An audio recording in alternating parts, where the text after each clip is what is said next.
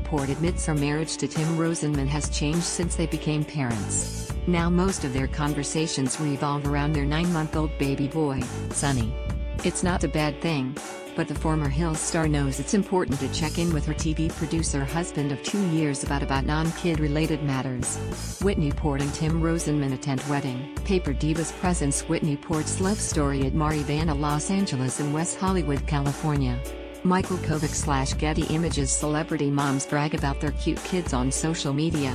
Pictures. I think you just have to put in a little bit more effort to make sure that you're on the same page in life. Port, who recently partnered with Lactate, told us weekly video.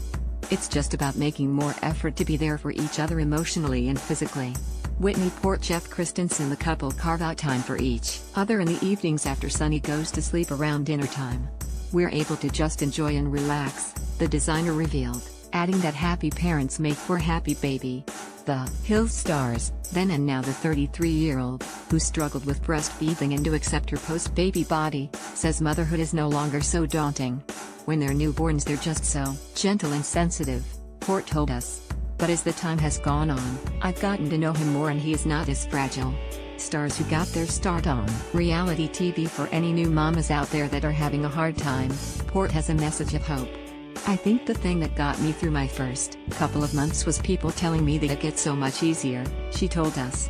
You feel like it's never going to end, but it eventually does. The baby is less needy and you become more comfortable. Just give it time and know that this too shall pass. Port and Rosenman tied the knot in November 2015. Sign up now for the US Weekly newsletter to get breaking celebrity news, hot picks and mortared straight